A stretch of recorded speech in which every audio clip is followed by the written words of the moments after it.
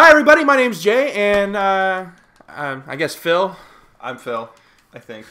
And uh, we've got Barry Kramer of the Game Grumps organization, Steam Train, Table Flip. Yep. The, Uh, the, the, the Game Grumps Cor- Corporation. Oh, yeah. Game Grumps Inc. Wh- Yeah. What, what would that be? Would it just be Game Grumps in general, or is it incorporated, LLC, Uh, TM? Inc. I should probably know this. I think it's an L LP. I don't LLC L. I don't know. It's very it's, it's yeah. I don't know. It's a business, but like none of us treat it as such. So I don't know. I've got your uh, business card. It doesn't even say on that. Perfect. Yeah. No. Very professional over here. Not even trademarked. No. No. Hey, Phil, we should call our uh, channel Game Grumps. Oh, you bastards. Just competing business already. When did they become not funny? Uh, they started going downhill when they just kept playing Grand Theft Auto all the time. so, um, the I guess the core thing here is I, I just I really don't want to focus on Game Grumps, uh, Oh, but I do God. just What a shit show. or or Steam Train or uh, what you do. But I'm still gonna ask. Um, so, what led you down this path into uh, into doing what you do? Um. Okay, so basically, I I grew up in L.A. Uh, originally from L.A. and went to school in New York. And after I graduated from school, I ran out of money and didn't have a job really. Uh, so I moved back in with my parents uh, after a few months. And this was summer 2012. This was when Game Grumps started. And throughout the summer, I'd been in contact with my buddy John, perhaps known as JonTron. Uh, and they had started this channel, uh, JonTron and Egoraptor. And I'd known John since uh, middle school, actually. We go way back. And so he said, Oh, you're unemployed living with your parents. Live with me and keep looking for work. So I moved in with him, and a few weeks into that, he said, Why don't I teach you some simple editing stuff and you can help me out with this growing channel? So it all kind of came from that, really. It was just right place, right time, right friend. Interesting. So you just got kind of a, a simple editing tutorial and uh, and then just Yeah. took it on from there. Yeah, yeah, because I'd helped him uh, with some early JonTron episodes, and he edited all of those. Um, so I learned a lot just from watching him edit his stuff, and that made it very easy for me to emulate his style early on. Um, and like once I got my hands on Premiere, which is what I edited and what he edited in, uh, it was just very natural because I spent so much time watching this process. So and now very, what I edit in as well, having watched your video. Yeah. Yeah, and like since then I just started experimenting and learning lots of random stuff and picking up things from kinds of websites all across the internet. Um, and kind of developed my own style over time, I guess. Yeah, Oh. it's very whimsical, uh, easy to watch. Uh, Mhm. It works really well with the uh, commentary, I believe. Yeah, thank you. And oh no, just uh, just stroking the shaft just a little bit there. Get you over to my camp. Uh. but uh, yeah, and so what was the? I guess just kind of talking about the whole before Game Grumps stuff. What was the last job you held before doing this? Um, so the job that I had, that so I was working. I so that summer between when I graduated from NYU, is the school I went to in New York. Um, in the summer between when I graduated and when I moved back to LA, I did a lot of random stuff. Um, I did some volunteer work. I volunteered for the Games for Change festival. Um, but the job that I had, which I then continued when I was back in LA, like kind of through like web chat and stuff. I was working for um excuse me. I was working for AOL's games.com. Uh Holy they were crap. in, yeah, they, they were doing like this uh, restructuring and like changing a bunch of stuff and like redesigning their site. So I was sort of helping out with that transition. Um and then continuing so that since that didn't go LA well, Sorry? I guess since that didn't go well. Yeah, I mean, uh, they're all great people, and it went really well. But I moved back to LA, and I was trying to keep working on that, but I was waking up like really early in LA time to be on their schedule, and it was really tough to just do it over text chat. And then I started working on Game Grumps, and was like, okay, I'm done with this. So it kind of worked out really well, timing wise. But that was a really fun job. It just wasn't like it was a temporary job, so I knew that alone wasn't gonna let me stay in New York. So, yeah. That's uh yeah, I mean that's kind of really interesting. So you've always kind of been in the internet kind of game de- or scene. I mean, not really development, but not really creation. I guess how how would I phrase this? Coding or design. Yeah, but you've always been kind of Like in, in the industry. yeah, definitely in industry would be a good way of putting that. I mean, perhaps it's not really how I viewed it. I mean, I. I mean that's It's not about you, Barry. yeah, I mean, I mean, just just in that like, yeah, like technically it was part of the industry, but I had a couple jobs that summer that were related to games because I was desperately trying to work in something related to games. It didn't really matter what. It was like I just want to do stuff with games. I'm really passionate about this. Um, It was it was kind of your version of every kid that wants to work at GameStop because that's the first stop. I I applied to a couple of GameStops in New York. Oh yeah, I did too. yeah. I did too, actually. Yeah. Anybody that plays a game is like, oh man, it'd be so great to work there because you get to you have games for free. Oh, it would be so amazing. And Eight dollars an hour. yeah, dude, I, do, I know someone. who- when I played, it was like five fifty an hour. Yeah. You could buy so many game every year with that. so many singular You do games. it for six months, you're like, this sucks, I quit. Like, what is this retail in my game I store? hate this. then you, yeah, then If you only the immediately customers realize, didn't exist, this would be great. Yeah. Yeah, just sorting games all day. That sounds great. Like, Like, okay, our game stuff. He's like, oh fuck you guys, you're regulars. yeah, yeah. It's it's bad. Yeah, it's bad when the GameStop guys recognize you still when you don't buy any games from them. Yeah. And you're their favorite customer. yeah. Ugh. yeah, we- just because we come to a couple midnight launches and not buy games in either. but uh, so working in kind of a create, I mean, you would classify what you do as a creative environment, would you not? Yeah, 100. percent Oh yeah. So, what is probably the most challenging part about this environment? The the job or the environment? Because I would classify those as different. Well, let's start with one and work the other. What, what's the most challenging Alright. part uh, of the job itself? Um, probably just the time involved in editing. It's surprisingly time intensive, and just having that much focus on something for such a long time, and having such you have to like simultaneously have a really good grasp on the big picture and also be able to micromanage these tiny details in order to make something really feel right uh, as an edited video. Um, like for example, we uh, we started a second channel not too long ago, Grump Out, and we put up a video on that of every character from Smash Brothers clapping, and that was the best. it's like a the, the extended cut is like five minutes long, and all told, that was over a full work week of work to get that stupid video out the door. But Well, then, it, then it um, went kind of viral, so like. It was Oh, yeah. Successful. Yeah. if it makes you feel any better, we watched them back to back. The original, and the extended.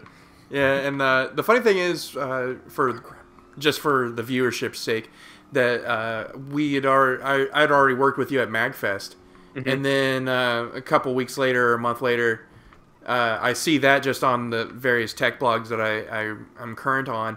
And I'm thinking, oh, that's really funny. And then I learn a week after that that you guys did that. I was like, holy shit! Yeah. yeah, no, I, I got like messages from friends on Facebook and like, dude, I saw your Smash video and, and stuff like that. Like that was really cool. Cause, you know, with with Game Grumps, the channel, we're we're just churning out so much content. And if you're not invested in that and, and sort of on top of the content, it, it doesn't really jump out at you as, as someone who's not familiar with it.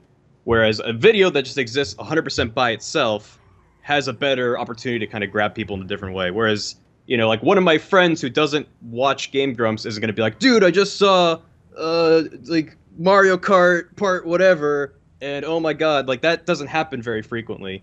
Uh, so it, it is like very interesting having done that for so long to all of a sudden have this experience of like, oh yeah, we just dropped this little video, and a lot of people saw it and connected with it. So it was it was it was pretty cool. Yeah, uh, I I think my personal favorite definitely being uh, Mega Man, and just Oh, the God. setup to Mega Man because it's just like I think it was Pikachu or Jigglypuff, and just you know a really simple one, and then Mega Man clang clang clang clang. Yeah. Was that two soda cans? Yeah, I think it was two cans of Monster.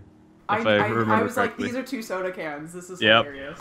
Oh yeah, It's a really yeah, 'cause- uh, thick sound. It's a lot deeper than you thought it would have been. Oh yeah, Wow. no, that that was games. Really fun. Like, uh, when we so that video happened because Aaron and I were playing Smash Brothers after it came out, and we're like, these clapping animations are the dumbest thing we've ever seen, and like their fingers are clipping through their hands. It's like really bad, uh, surprising for Nintendo. Uh, so we're like, oh, but what if we did a video? Like, duh, what if we gave them realistic sound effects and it'd be stupid?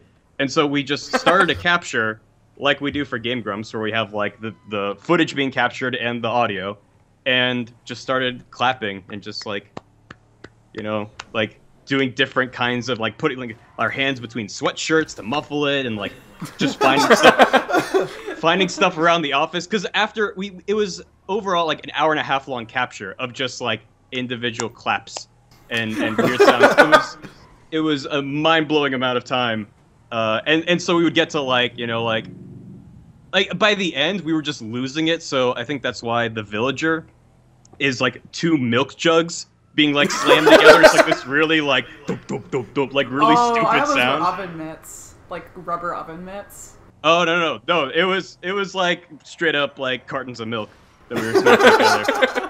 Because they're like, what can we find that's gonna make a funny sound that like and like Captain Falcon is two wooden blocks smacking into each other because he had like a really rigid clap. So a lot of them were very simple, and then we just got dumber and dumber. Um, but yeah, definitely the ones like Samus was really fun. That was that's like several metallic clanging sounds on top of each other, and Mega Man. I'm particularly fond of Rob. Rob might be my favorite Oh yeah, the rapid fire just. yeah. Which I think that one was two Xbox controllers smacking into each other for like that plastic clacking sound, and then I found a like motor servo sound from uh, freesound.org, which is a great site for free sounds. So yeah, go. I'll put that Remember- one in my own that one. wheelhouse. Yeah, the feather in my hat to try and edit stuff together later. yeah, definitely. So Do they have But, uh, trombone because we can use What, that? why did I start talking about this? Oh, so yeah, it's it's just that like it's like such a fun idea, and it was like a couple hours of me and Aaron goofing off, and then five straight days of editing of syncing up these claps and like finding the best sounds, and it just took so long to do it. So that's probably the most challenging part is just the raw hours that go into making something like that. I just I, I just imagine you guys in like lab coats and glasses with clipboards, looking at uh, large computer frames with reel to reel tape. Right. Like we got to figure this out. and we're pointing at things with pencils. Yeah. Why do we keep doing this on film? We definitely should have costumes on hand to like get in character. We're doing something like that. Like no one will see it. It's just like we know like this is official. we put on Every the lab once in a while, you just get a, a, a, a character shot, and I mean, can you not borrow some uh, costumes from the Polaris set? Uh, I don't know. I guess we could break in and steal some stuff. Yeah, fuck it. Everybody's got a crowbar somewhere. There's a costume shop not too far from here that we've only used once. It was for the the Mike Karuba shirt commercial. That's like black and white noir, and we're all dressed up and stuff. Like we went to a costume shop and rented stuff. And it was like that was awesome, and we haven't done that again since. Um, I guess randomly we'll like buy stuff. Um, we have something coming out soon. I don't know when this is gonna go up, but before long, there's gonna be a video that goes up where Aaron's wearing a lab coat, and that's like just something we had, I guess. So Well, know. everybody's got a lab coat. I've got a lab coat. yeah, it's it's if handy. you have a lab coat and a uh, and a uh, what is it, a clipboard, you can just Mhm. make anything sound official. yep. People And then all you immediately believe you. Then all you need is like a stethoscope, and you're a doctor. Like it's it's so easy. Yeah, it's it's universal. You can walk into any business and tell everybody that they need to clear out now. and, and they'll just do You, it. you you have experience with this, I'm assuming. Uh, sounds statute limitations might not be up. hey, there's my car. Oh, there's your car. Still under the stupid Titan. Uh, okay, so what was the, uh, or I guess what was is the most challenging part of the environment that you work in? Um, probably just being in uh, an environment where you're surrounded by energetic, passionate, creative people can actually be daunting at times. Um, I got to smile all the time. Fuck! yeah, I mean, it's it's like kind of a douchey answer, I guess, but like it's just you know when when you're no, like not at all. head down trying to focus on something you're working on and behind you is uh, or people filming something where they're smacking each other with chairs or something. And it's like, well, I kind of like want to be a part of that, and it's distracting, but it's kind of great. And I also got to work on this video of these people clapping for the next 20 hours. Yeah, So- I've I've seen a lot of the behind the scenes stuff that like Rooster Teeth puts out, yeah. and it it just seems like that's always the case. Like there's always somebody that's free that just kind of wanders into the scene, and the camera pans over, and they get hit with something, and it's pretty funny. I've heard that their rule is you can do whatever you want, as stupid as you want, as long as someone is filming it. It's a and good that's rule. a pretty It's a good, good rule. rule. Yeah, yeah. Like if uh, if somebody dies or gets hurt, I mean, at least we'll be able to submit that to the insurance claim. Exactly. brought the hooker over? Who brought the camera? you know who. Everyone's Business got a expense. GoPro mounted on their head. Well, if it's good enough for Congress. Uh, well, I was gonna ask a different question. Okay, so, uh, what is the most creative, laugh out loud, fun day that you've had uh, working in uh, what you do? Um, probably every time we film a sketch. Um, because like whenever we record episodes, it's still fun, but it's just all spur of the moment, like bop bop bop. And when we're filming a sketch, I mean, they're very loosely scripted. Um, sometimes very loosely scripted, which makes it a nightmare to edit when continuity is just completely fucked. Um, but whenever we're filming a sketch, there's kind of this sense that this is going to be turned into something. So it kind of makes things a little giddier. And when things spontaneously happen that are great, it's like a very exciting moment and it just gets everyone really energized. Like, um, for, for example, we did a sketch uh, to introduce Kevin, our new editor, uh, late last year. And there's a part in it when Kevin's like, "Oh, this render's gonna take all night," and I just leave, and he's like, "I want to go home," and it's like, "See ya." And that was all improv. Like originally, there was a really lame joke there, and I wrote that sketch, so I'm calling myself lame here. Uh, there's a lame joke where he like tries to talk, and I like smash my finger into his mouth, like, "No, no, no, you don't talk yet," because for a long time I was silent on the channel, and so it was like kind of a nod to that. And we like made this little scene, and it was really great, and like endeared a lot of people to Kevin immediately. Um, so it's like those kinds of moments are just.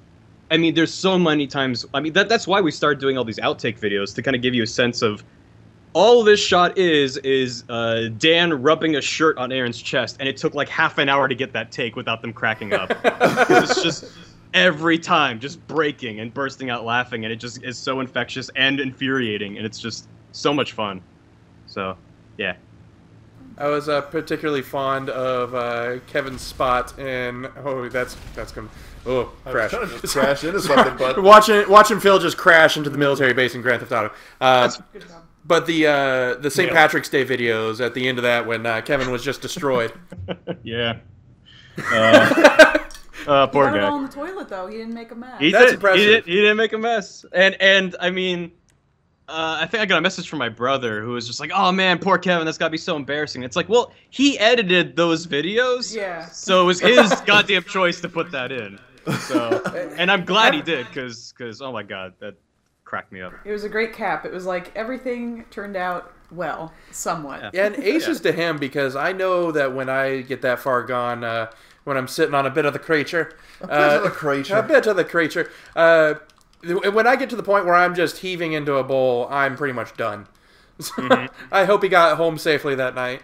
Uh, I would not have. had a decent- oh yeah, yeah. We we we had uh, I think Holly was our, our DD, and it's like, I don't know, cause we we shot that, you know, not on St. Patrick's Day. It was like a week and a half before then, so it's just a random day in March, and it's like, Holly, we need you to drive us home. And, and You didn't set that up with her beforehand. Oh, I probably. I hope. okay. they I don't blame Ross if, if there was not proper warning. Uh, so I guess changing gears a little bit, and uh, something that I, I guess um, I got inspired by with this question, uh, seeing Ross's video from uh, I guess a couple months ago or last year, but with the uh, the kind of landscape, and this is going to be a little more serious, uh, but uh, the landscape of YouTube and content generation changing, and the way Mhm. they do things. You're talking about his uh, his animation video. Yeah.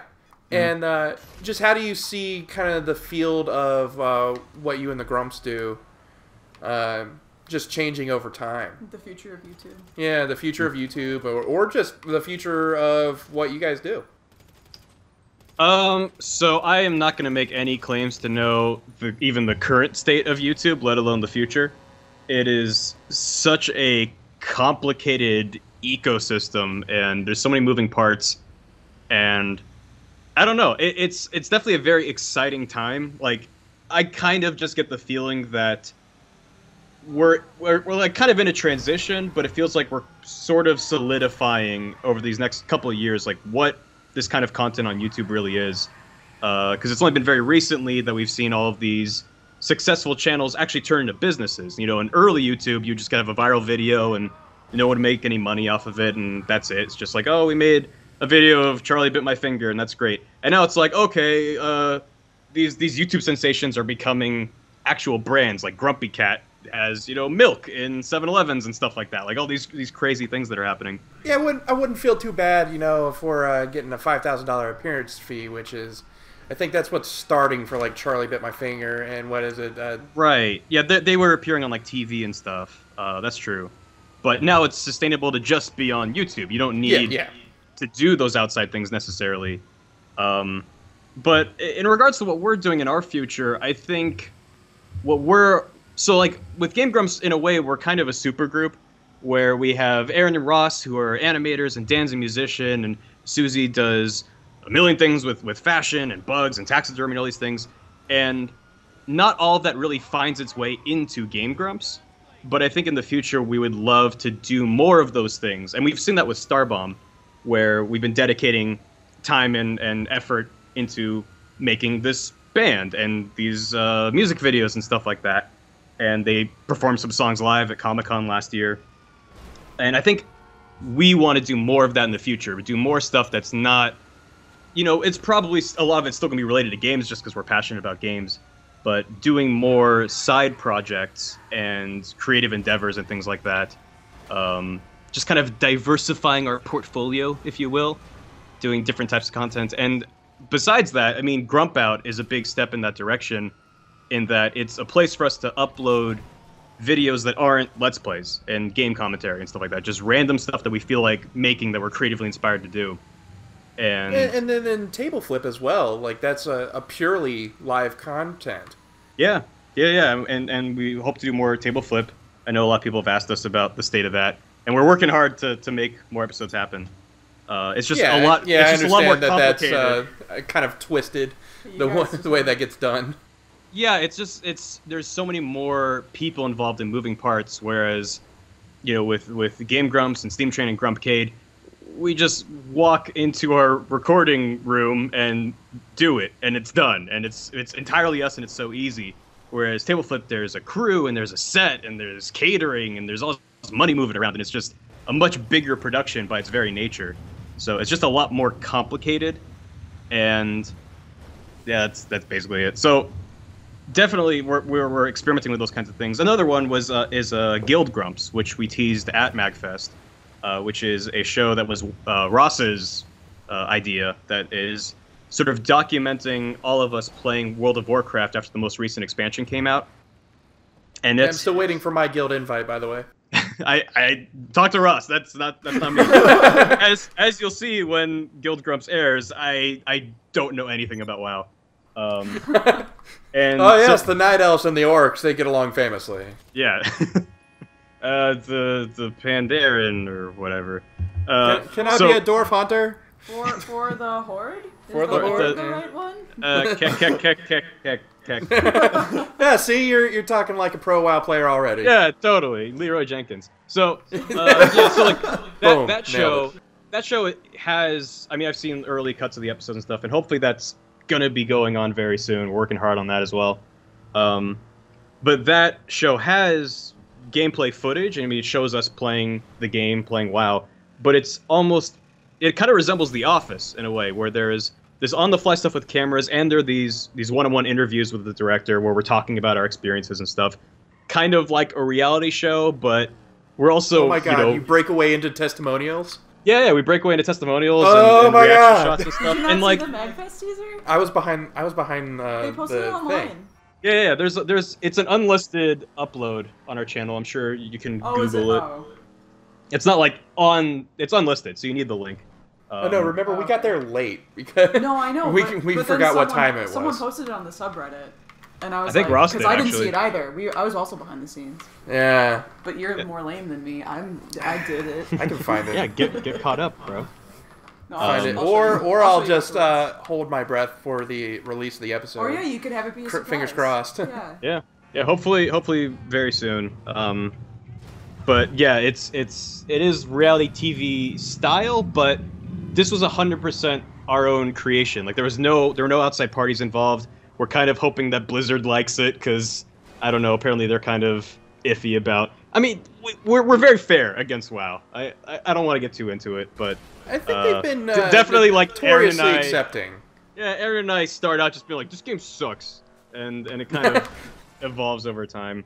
But we're also very very aware that it's a filmed show and there's a camera crew following us, so there's a lot of kind of fourth wall breaking that I enjoy, where it's like, oh, this is scripted, but we're pretending it's not. I mean, the show isn't scripted, but I don't know. I don't want to spoil anything. It's just it's a really fun thing, and it's a very new project for us. It's a very different type of show, and hopefully it does well, and we can do more stuff like that. So what you're saying is you're going to be solely responsible for forcing people to get back into WoW. Oh Thanks, yeah, Barry. and, welcome. and then paying for the character transfers and uh, and race changes. Yeah, Blizzard's gonna like you guys just fine. yeah, we'll see. Hopefully.